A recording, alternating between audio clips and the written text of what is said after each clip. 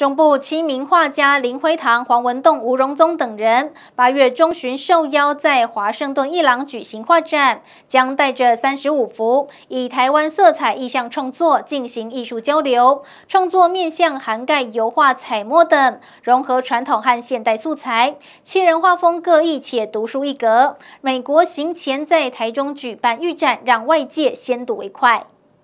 飞越华盛顿，赞。七位画家难得同台现身，他们更将携手带着画作，要前往到美国华盛顿艺廊来进行艺术交流。不过，在美国行前，也将三十五幅以台湾色彩意象为主题的绘画创作来举办预展，与众人分享。传情达意最最直接的表现的方式，除了语言或者是文字之外，我想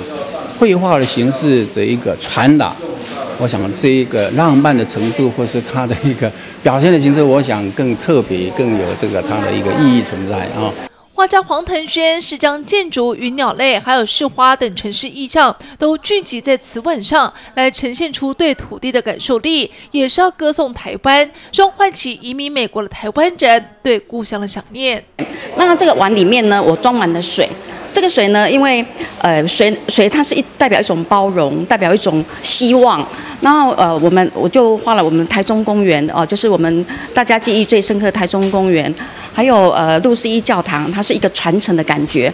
老老中青还有歌剧院做一个时代的一个传承。所以呢里面有我们的市花，有我们的市鸟哦，来做一个呃时代的一个呃一个一个一个灿烂。那这个碗呢，本身也是一个石榴，石榴也是代表一个传承的一个概念。有天幕画家之称的林辉堂，则是推出宇宙宇宙夜两大系列创作，运用宋朝天幕碗的肌理转变到画布上来呈现宇宙的空间感与人类生活在地球的时间感。就是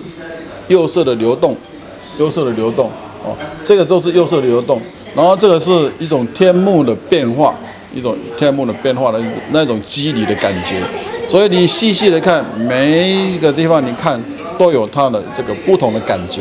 那这一整张画，我是在表现宇宙的空间跟时间。七位艺术家画风各有其特色，创作的面向也多元，涵盖油画、彩墨等，融合传统与现代素材，要透过他们的画笔，呈现出截然不同的台湾美。这里的话，台中采访到。